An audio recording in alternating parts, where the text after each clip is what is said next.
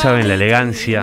Qué mujer, por Dios. claro. La elegancia que derrocha Qué al aire lindo, la señora lindo. Cristina. Qué lindo que es Lucas. Es muy sexy además eh, la polera con el traje en el caso de la Amo, mujer. Sí, amo, me encanta. Muy de emprendedora No, pero aparte, nosotros venimos, viste, La diciendo, combinación- bueno, esto, no- esto es radio, no nos ve Claro. nadie. En cambio, ella viene como si fuera. Telefe Noticias. Pero ahora tenemos las cámaras buchonas, chicos. Ahora Sí. Sí, esa no, igual no te apunta, se ve que la- Bueno, eh, no, esta combinación negro con Marrón, beige, beige. O, o tostado, qué sé yo, me o camel, qué sé yo, me encanta. Eh, pero hoy tengo motivo, porque vengo de un de conocer a, a- a Ágata Ruiz de la Prada, Ah, mira qué bueno. que anduvo por todos lados, Sí, qué bueno. así que... eh, Hoy hay un desfile ahí en Poco Correctos, ahí en el 13 que está armando ya. Mírenlo, programa ¿Ah, sí? Yani. ¿en Con serio? muchos colores, esas cosas Muy bien. ¿Tuviste un off Sí. con Agatha o un evento? No, est- estaba, tenía, hacía una conversación con una, eh, una médica dedicada a la estética ahí por, por Puerto Madero. eh, y la verdad que estaba vestida, yo digo, ¿cómo hace ella para combinar esos colores? Porque tenía un estampado con un rayado, con un rojo estridente. con- Qué bien. Pero lo más gracioso eh, es que contó que, que está fascinada con el encargado. Pero ¿En claro. serio? Con la Es serie El. Encargado, dice "Es la serie más grandiosa que he visto. Se fue hasta el edificio del Encargado para conocer el edificio Sí, donde es se un lugar la turístico, serie. Claro, es un lugar turístico, es Mucho- verdad. muchos ¡Qué pasan y están haciendo un video que, que están como eh, de encargados y cuando pasa alguien le gritan, que es alguien, debe ser algún amigo. Claro. Como hace Y Franchella. tiene encargado, ¿verdad? Pobre el tipo, ¿no? Porque debe estar todo el día El recibiendo verdadero gente. encargado. El verdadero encargado. Esas notas, nunca hicieron debe haber eh, representado Es un gran, Para que hacen tu programa. El encargado del encargado. un gran ingreso al consorcio de ese edificio. de Lo vamos ese a hacer. estado, ¿eh? Sí. Vamos a hacerla. Le voy a pedir a las chicas que llamemos al encargado Es del edificio del encargado. No me llama la atención de que le guste la serie El Encargado porque baja una línea, un mensaje contra los sindigarcas, claramente. Los indigarcas. Sí. Vos sabés que Contra los progres, contra el cambio climático, me encanta a mí. lo que a ella le llamaba la atención es que ella decía que había redescubierto la arquitectura de Buenos Aires viendo esa serie. Mirá. Mira vos. Y eso si te si, si me seguís, creo que en la serie Nada se ve todavía más lo de la arquitectura de Sí, es Buenos verdad. Aires. Pero básicamente, si, si te acordás, cuando empezó la serie, el entonces Inadi la quería prohibir porque decía que estigmatizaba a los encargados. Sí, es verdad. Bueno, en ¿La Santa verdad? María, Pará, el y- jefe de los porteros se ponía como Claro, loco. Claro. Y en nada eh, no pudieron usar el Cabanag. Los vecinos se opusieron. Ah, mira. Pero se, se confirmó finalmente. Sí, sí. ¿Te acordás que ahí era Alicia Castro contra Robert De Niro? Era Sí, una locura. Pero- Era una locura. Pero bueno, creo que está buenísimo lo que hacen, lo hablábamos ayer, Co- Connie Duprá, eh, de, de salirse de la, de, la, de la línea de lo políticamente correcto del- de la mayoría del, del mundo del, del cine o del espectáculo acá, ¿no? Me están pidiendo que te corras más para atrás. ¿Por A qué? ¿Por el micrófono o por la cámara? La cámara. Ah, la cámara no, no la apunta, así que vamos a poner. Mira, voy a hacerlo al aire, me voy a mover acá para poner ¿Qué la cámara tengo así que la hacer? Cristina. No, no, espera. Acá, ¿Cómo se ve? A ver. Claro, ¿dónde en, estabas? en el otro espacio. acá. Yo le voy a apuntar a Dani. No, que, Chicos, perdamos Pido por a favor, la no perdamos La la, radio por Juan la Carlos. Streaming. No me hagan hacer noticiero. No. Si no extrañara las cámaras un poquito. No. La cámara te ama, Cris. ¿Avanza eh, el proyecto? Sí, ahora empezamos a grabar. Ah, bueno. Ah, muy bien. ¿Se viene tu, tu pro? Último momento. Último, tira un último momento, por favor. Sí, empezamos a Urgente. grabar Urgente, urgente, urgente. Urgente. Que, Entre ahí la sema- va, ya, ya estamos trabajando. Tenés que esperar urgente. Ahora. Pará, pará. Vuelve la señora Cristina Pérez, una estrella de los noticieros argentinos, con su propio programa en un canal a confirmar que es Telefe. Telefe, Telefe. Sí. Ya está, bueno, por ahí no lo quería ¡Qué confirmar. presión! Muy bien. ¿Cuándo vuelve, Cristina? No, ya estamos trabajando eh, en las Quieres puestas. tirar, no quieres tirar cuando Eh, vuelve. no, empezamos a grabar, calculo que la semana que viene o la otra, pero ya estamos trabajando. Ok. Eh, ¿qué- si no nos puedes contar, no nos cu- ¿te molesta que no podemos hablar de esto? ¿Querés cambiamos de Eh, tema? Más o menos. Eh, bien, con cautela. Lo- lo que puedas, lo que déjame puedas. guardar. ¿Cómo está déjame Luis? guardar. No, es- este, no, estamos apenas en cosas preliminares de tiros de cámara, de puestas. Ok, así, ok, ok. pero- ¿Y lo que había salido, que era un programa de entrevistas y todo eso es así? No, o- ese es así, pero Ah. le estamos, estamos siendo un poco cuidas con el formato para que no. Para, para guardar el, el- La sorpresa. Para que no haya copia, la además. sorpresa, ¿viste? No, pero, pero también no les pasa que hay como una energía que te la guardás para el momento en Sí, que, en que sí, estrenás. Sí, Sí, porque no, si decís algo, más. lo, sí, lo que más, que y, más. y la gente en general tiene mala onda. O- Sí, hay mala vibra. Te dice, te quema, te dice nada de ese programa. Mira, te voy a dar un Sí, ejemplo. Hay un montón de gente así Te voy a dar envidiosa. un ejemplo que nada que ver, pero se relaciona. Yo cuando tengo una entrevista, le pido al entrevistado no hablar antes. Claro, está bien. Está bien. Porque lo que suele pasar, ponele que yo te voy a entrevistar a vos. Claro. Y, y vos me tenés que hablar de los refuerzos de, de- de Boca, ponele. Y me contás toda la trastienda y me, me contás Te detalles y me contás eh, un montón de cosas interesantes con muchísima pasión porque después vamos a hacer la nota. Cuando vos llegás a la nota, sí. tu cabeza Ya está, claro. te informa que vos ya lo contaste, entonces ya lo Claro. cambiás el tiempo verbal, te perdés de los detalles, te aburrís de contar lo que ya contaste.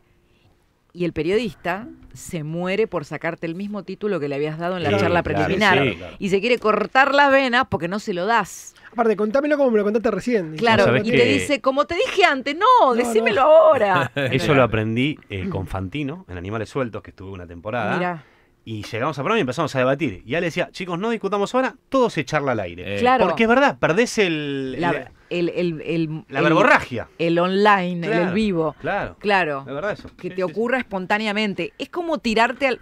A ver, acá hay una. una hay, hay dos. Me parece que hay dos líneas en la propia televisión, incluso cuando se trabaja con formatos. Hay gente que es obsesiva por planearlo todo. Sí. Incluso en Estados Unidos la televisión hasta los chistes están planeados. Sí, sí, están llenados, claro. Están Sí, todo sí. guionados. Sí. Eh, yo hay un punto en que creo que vos tenés que maridar los momentos donde dejás que pase algo y que se sienta Que fluya. ese- que estás al borde del precipicio Claro. que se sienta la adrenalina, que se sienta la, la- la- la Sí, verdad. sí, La magia, digamos. Que cuando entré a 9 Diario, vos pensás, año 32, era compañera de José de Ser, eh, ejemplo, ¿no?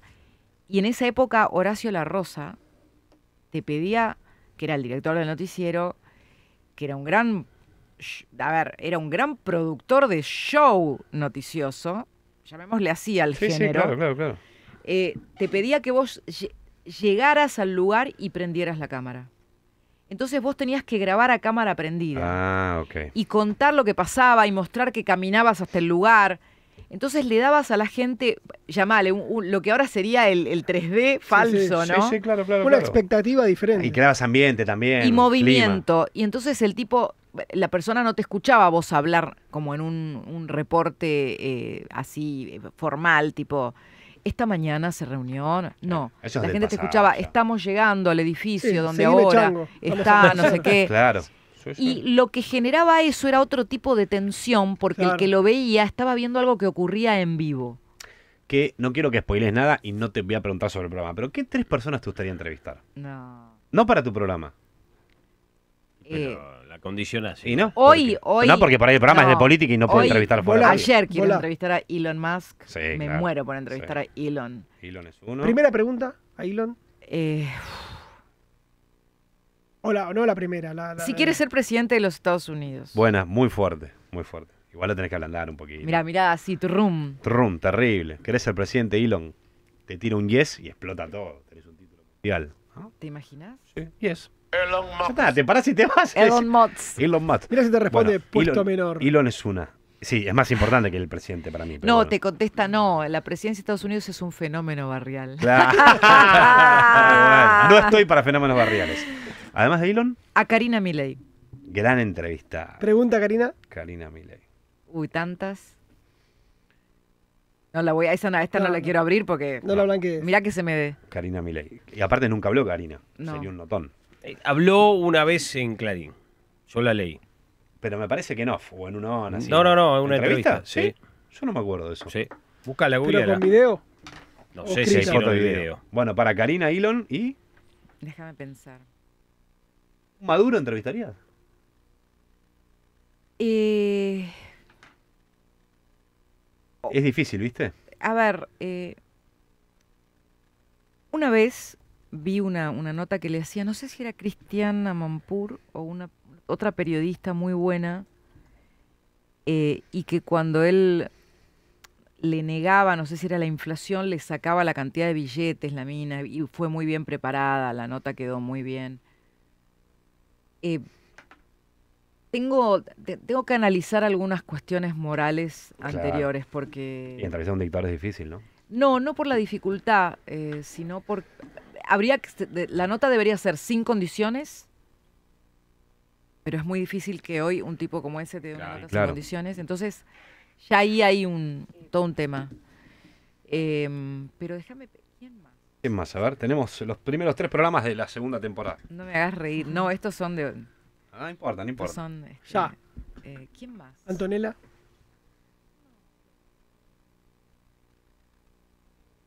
¿No les pasa que a ustedes que las, las entrevistas Te tienen que atraer, sí, claro. Sí, claro. A tiene mí que haber algo Elon me encantaría. que...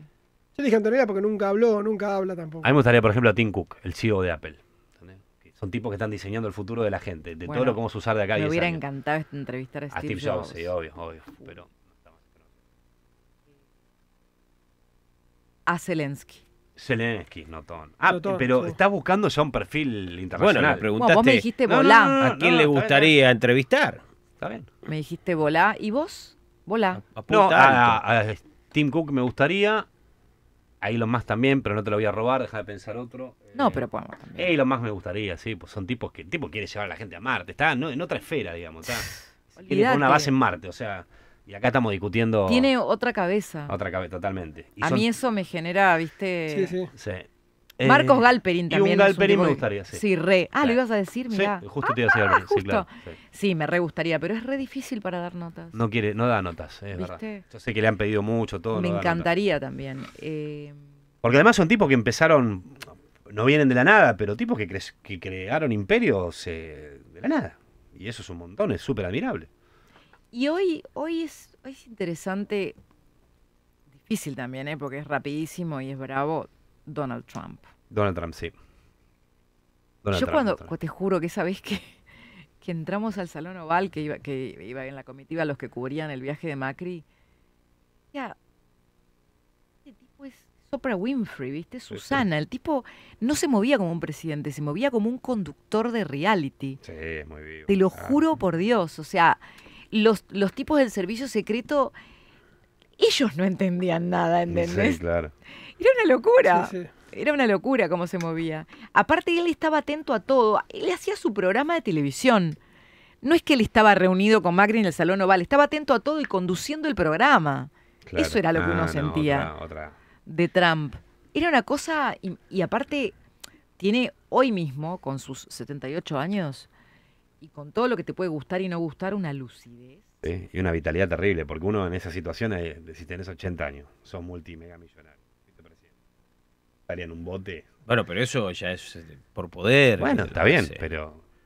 Hay un incentivo más importante que el Sí, dinero. claro, pero ya este fue, caso. ya está, ya fue presidente, ¿no? Sí, bueno, Es multimega billonario. Gracias a Dios. En una isla en el Caribe con mi, mi- mi mega yate de 7 palos verdes. Bueno, pero- Se aburre, 100. se aburre. Bueno. Por ahí se aburre o por ahí está dando la batalla contra el socialismo en Estados Unidos, ¿no? George Lucas me gustaría entrevistar, el creador de Uh, me Star Wars y encanta, me encanta, me encanta, cambiaron me encanta el- el esa cine. nota. Decir que bueno, es muy difícil. ¿Y sabes quién? Sam Altman, el de ChatGPT, el de OpenAI. Buena. Porque son tipos que están pensando cómo Buenísimo. vamos a vivir de acá también, 10, 15 Sí, años. sí, Son- re. Y me parece que no son tan inaccesibles. Ese por ahí, diga alguna nota.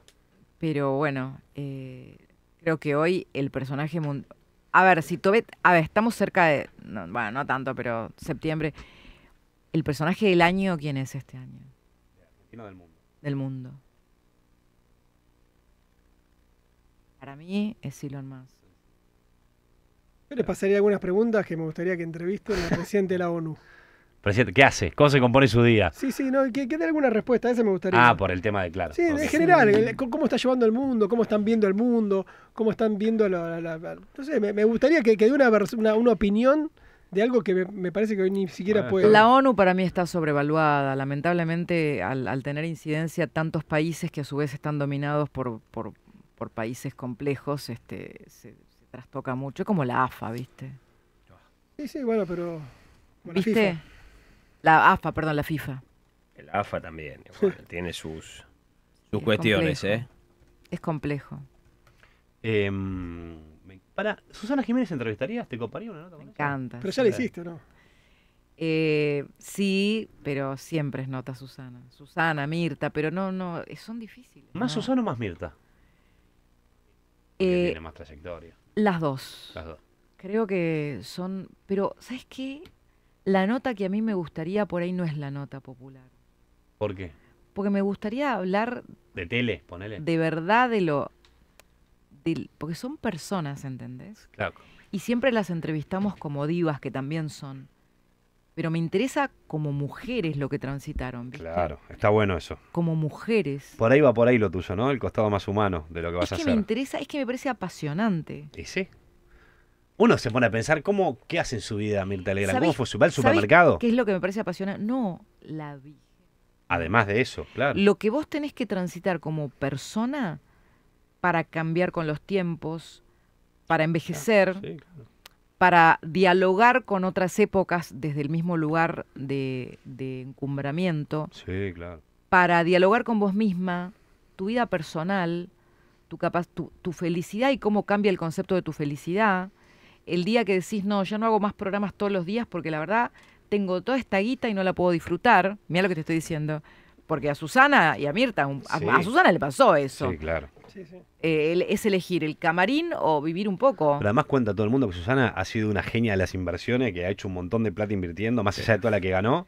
Y la que Eh, perdió. ¿Eh? Y la que perdió. Bueno, perdió un montón, pero... creo Pero que- también creo que Susana hizo este clic de, de elegir tener una vida y, y de...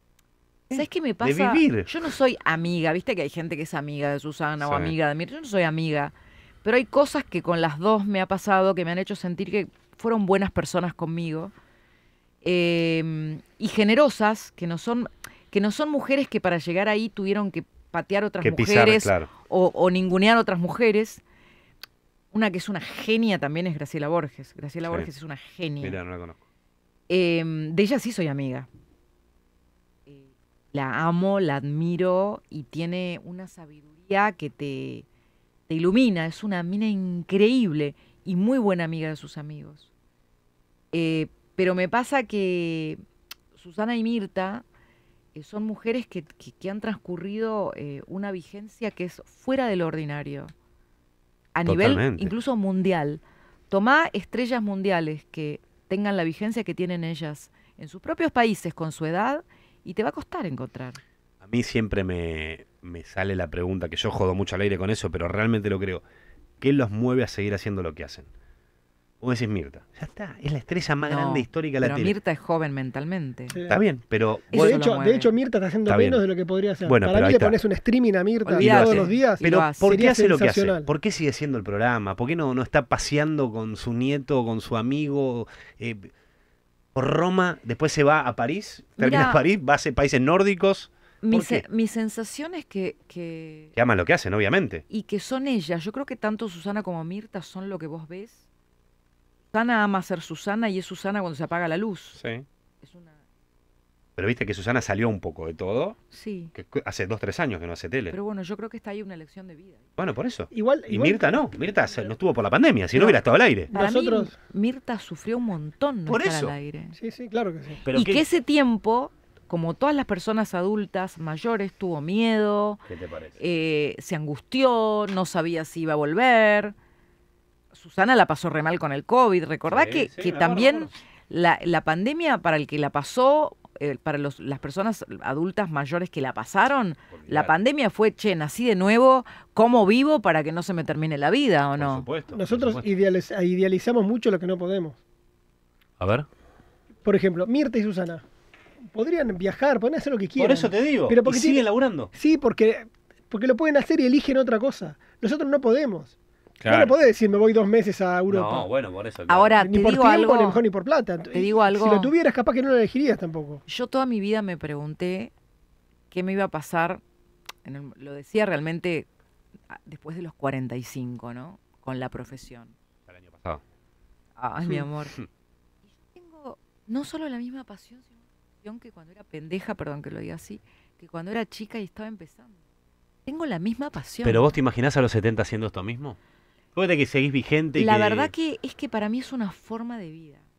Y bueno. O sea, yo amo hacer esto. ¿No te gustaría estar con Luis paseando por el mundo? Estaría. ¿Cuánto tiempo? Todo el tiempo, todo el Yo, me lo pregunto hecha. también eso, ¿eh? Y Porque, bueno. Pero pará, yo hoy no puedo viajar con Luis, no porque yo sea periodista, sino porque él es funcionario. Ay, porque tenés que laburar. No, te- no puedes irte dos ir- meses a pero te Europa. podés- no, pero te puedes ir un mes, o te puedes ir 20 días, o te puedes Bueno, suponete, te planteo otra vida. Irte a vivir con Luis a San Martín de los Andes. ¿te No, gusta? no, eso no, a mí me gustan las ciudades. Bueno, No, a no Manhattan. Bueno, Y bueno, Ah, conseguime laburo. eh. No, no sé si me gustaría Manhattan, pero sí, si, me- Bueno, si Londres. consigo un buen laburo. No, hoy no iría a Londres. No me gusta el Londres de hoy. ¿Qué ciudad te gustaría? Me iría, me iría a Florencia.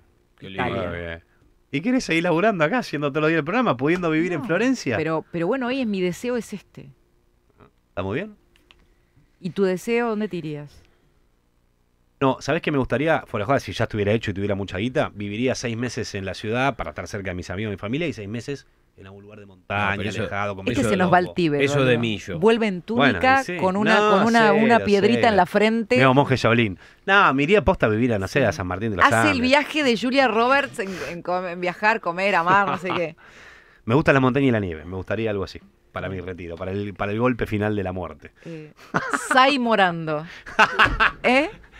Nos vemos mañana, Cris, gracias por este pase hermoso, ¿eh? Síganla, chau.